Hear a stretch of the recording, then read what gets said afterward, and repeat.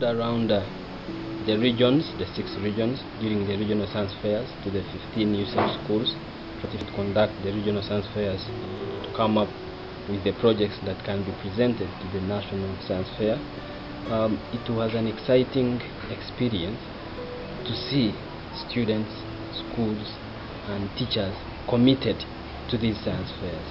That these science fairs taught them a lot, and see them compete, see them stand the pressure, stand the competition that each school would place again uh, would place on another school, or a region would place to another region, and would. Uh, it was exciting to see students and teachers and schools perceive the competition or a loss or a win out of each uh, regional science fair.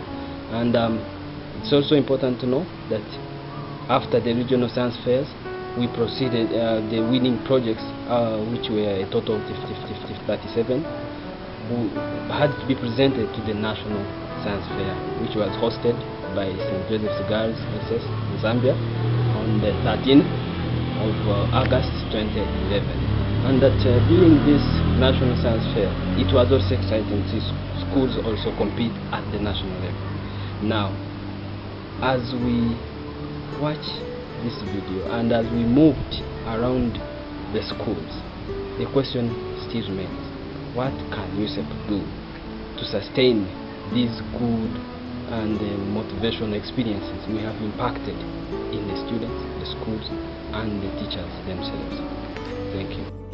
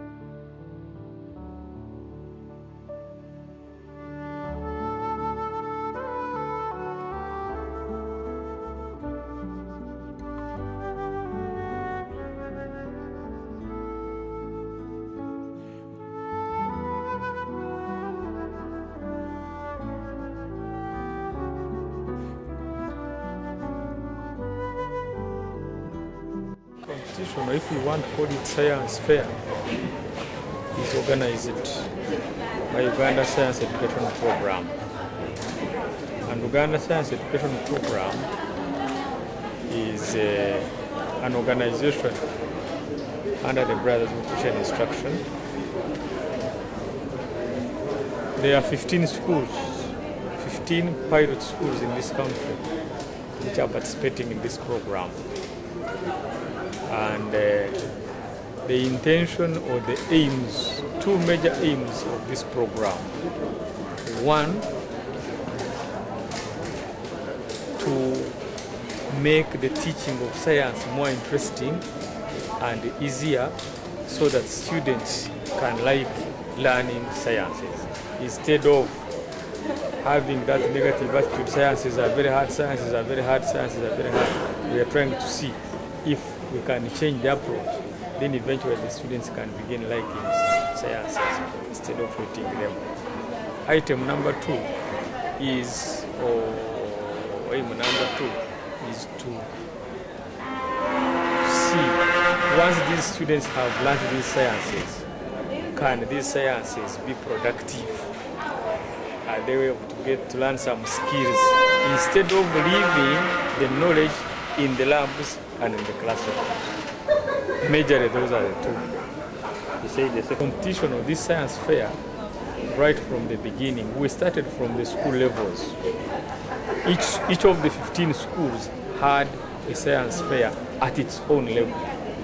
Then picked the winning projects, which were competed for at the regional level. We had a region in the east, region in the north, two regions in the west, one region central, and another region Masaka area. Now, each of these regions sent the winning projects to the national level, which is this one we are holding now. This is the national level and the final level. Theme is meant, we ask them to produce projects, not experiments. The projects we want to see how a group develops a project from beginning to the end. How is this idea uh, thought about? How is it developed? How can it help? Or how can an ordinary person gain from that project?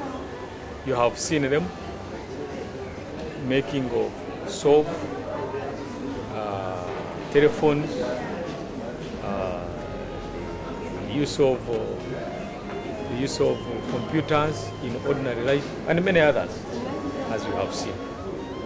Or to dispel that. Because in our approach of interesting students in the learning of science is to dispel that attitude saying sciences are very hard, sciences are very hard. We want to see our teachers orienting themselves in easy and simple and interesting to learn. So in our approach, apart from known apparatus, known what, we want the teachers, we want the schools, we want the students also to learn to improvise, to learn to use the environment. There are many things in the environment that can be used to learn, to learn science. If, if you have seen what these students are doing, for instance, the production, I think you must have seen the, I don't know whether you have seen that one, but there is a, a project on the production of soap. These, these, boy, these students are not using imported materials. They are using, I think, ash and some other things and producing soap. This is what we call improvisation. So partners from Netherlands who are helping us. These pioneer schools are being assisted in acquiring science materials. As a matter of fact, at the end of last year, each of these schools got equipment. I said we have friends from Netherlands who are helping us. So each of the schools got equipment from USEP, from Uganda Science Education Program, each.